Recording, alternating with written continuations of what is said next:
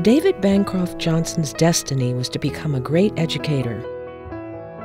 After college, Johnson moved to South Carolina, and in 1883 he became superintendent of schools in Columbia.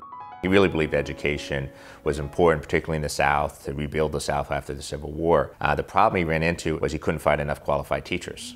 Johnson traveled to Boston, Massachusetts, and approached Robert Winthrop with the idea to start a training school for teachers. The Winthrop Training School for Teachers held its first classes in 1886 in a chapel on the grounds of Columbia Theological Seminary. And in 1895, it relocated to Rock Hill. By 1900, Winthrop's enrollment had topped 500 students. Johnson's vision had become a reality.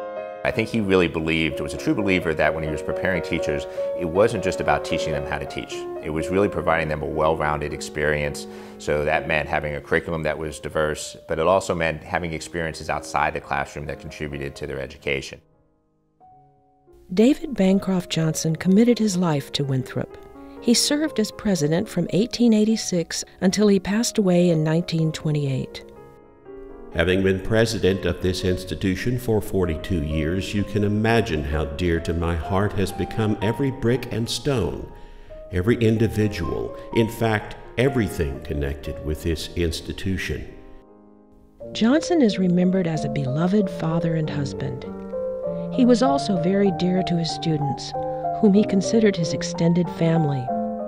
His legacy endures in every life touched by the education he made possible.